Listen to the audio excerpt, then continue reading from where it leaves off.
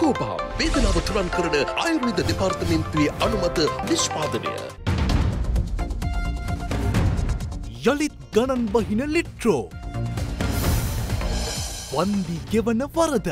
දෙන්නෙකුට අසාධ්‍ය තත්වයක් තියෙන හැබැයි සත්තිල දෙනට යම් මන්දියක් ගෙවන්නයි කියලා. මම ලේකම්තුමාටත් නියවු කරලා තියෙන එක්දහස් හයිසිය පණහට විසි පන්දහසක් ගෙවූ සමන්. යදමින් මිදුණු මුතුරාචා සරණක් සොයන පිරිවෙනක්.